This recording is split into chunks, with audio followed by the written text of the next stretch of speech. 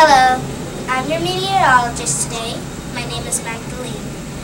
A three-day weather forecast will be will be pretty good.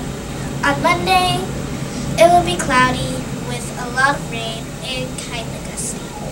The high will be 64 and the low will be 43. On Tuesday, we'll have some clouds and it will be kind of breezy. We'll have a high of 69 and a low of 40. On Wednesday, it will be sunny with a few clouds and, and very still winds, with a high of 71 and a low of 42. You're good. It was nice to see you on Cedar Park. You're good.